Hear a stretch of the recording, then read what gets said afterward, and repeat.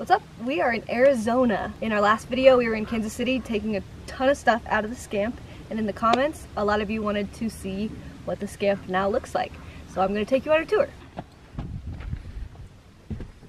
Oh, hello. Welcome to the master bedroom. We're still sort of using the same blanket system. We just have a couple layers, nothing fancy at all. We've cleared out a bunch of our extra stuff. So under here we still have camping supplies. Should I pop that open and show some spare boots, all of our camping gear in a backpack, snow pants, climbing gear, our tent is all under there.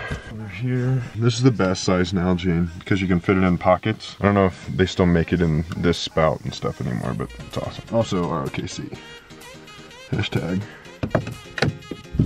This bin has our electric heater that we got from Walmart, a laser, you know, just in case. Ropes and extra climbing gear stuff. This is all of Elsa's snowboarding stuff and her spacesuit in case it gets cold. Under here is most of my clothes. I have a little bit more in a bag back there. That stuff is more cold weather gear. When I store my clothes, I like to just roll them so that they can fit nicely and then I can fit a lot of things and that way it's easy to grab them out. Elsa's clothes, same sort of deal. We've found that compartmentalizing things really makes it a lot easier to find them whenever you're looking. So here's the closet. When I'm layering clothes, I try to put the thing that I plan on wearing last in first so that I can peel off the shirts that I wear most often and then I can put them in the dirty clothes. I have three or four hangers full of clothes and Elsa has two. So she's winning. But, but, factor in the giant tub, okay? And then here we have camera stuff. Again, like modularization is key. So all of our chargers and stuff are in here. This is sort of my side of this bench. Also, and I throw our stuff here throughout the day. Fly rod that I hope to convert into a Tenkara rod, some socks, my backpack, an axe, a hatchet, a shirt, and a Crocodile Dundee hat. Up here is where we generally keep all of our hats. We've rained down our hat collection recently. We just got this fan. It is powered by a USB, so we can use it with little mobile battery packs. So that'll be a lot nicer than having a fan with rechargeable batteries that you have to take in and out. Under here, we still have the same storage, but it's virtually empty now since we've gotten rid of so much stuff. These are our Reflectix window covers. They're super awesome. Elsa made them. We just cut up Reflectix to fit and then painted them. We also taped magnets on the back so that they just snap onto the windows. This is Elsa's side. So we got the uke and her backpack. And then this book is awesome. Um, she's just been healing the both of us for coming up on a year now. This book is actually what kind of got us interested in um, foraging because she was like flipping through and finding flowers and stuff. There's some foraging books.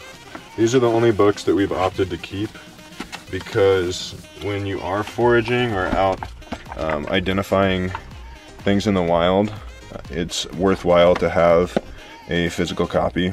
Here are our shoes and the tank drum. Currently, Elsa is winning the shoe efficiency battle.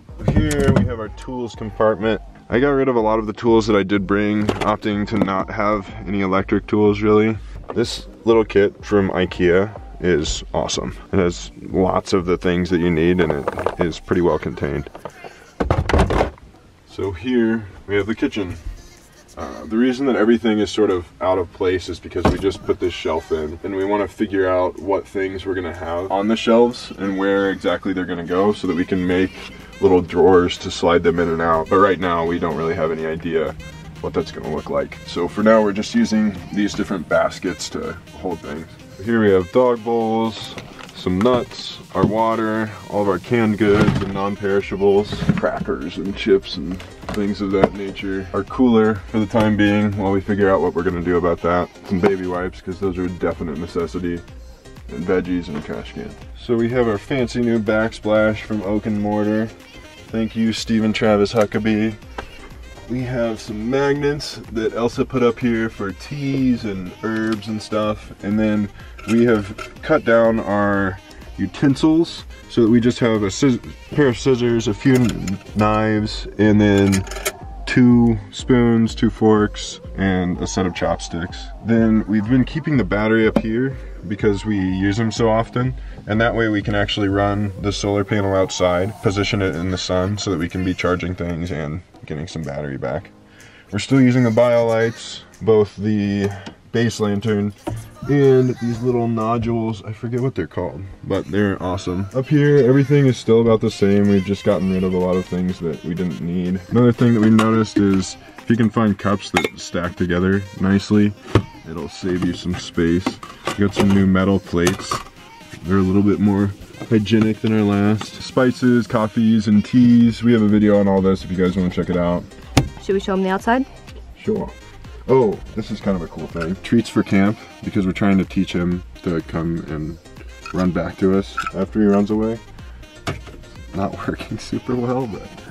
This is our outdoor living room. We have a crash pad for bouldering that works as a couch. We have our propane tank, water, some extra reflectix and stuff, and then all of our cooking equipment.